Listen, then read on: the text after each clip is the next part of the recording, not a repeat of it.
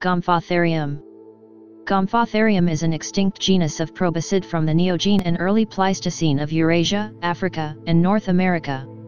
G. productum is known from a 35-year-old male 2.51 meters tall weighing 4.6 tons. Even larger is G. steinheimensis, known from a complete 37-year-old male found in Mühldorf, Germany, which is 3.17 meters tall and weighed 6.7 tons. It had four tusks, two on the upper jaw and two on the elongated lower jaw. The lower tusks are parallel and shaped like a shovel and were probably used for digging up food from mud. Unlike modern elephants, the upper tusks were covered by a layer of enamel. Compared to elephants, the skull was more elongated and low, indicating that the animal had a short trunk, rather like a tapir's. These animals probably lived in swamps or near lakes, using their tusks to dig or scrape up aquatic vegetation.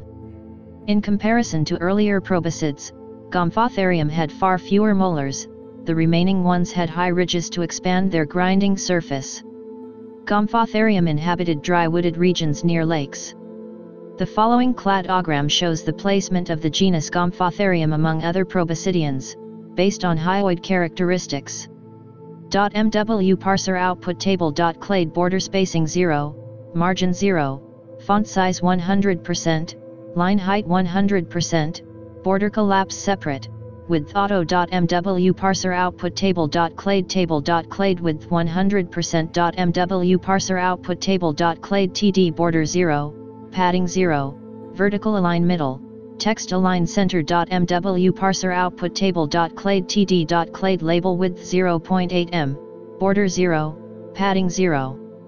0.2 m, vertical align bottom, text align center. mw parser output table. Clade td. Clades label border 0, padding 0.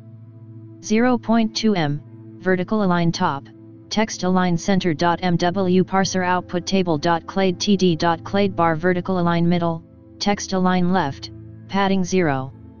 0.5 m. mw parser output table. Clade td. Clade leaf border 0, padding 0, text align left, vertical align middle. mw parser output table. Clade td. Clade leafer border 0, padding 0, text align right.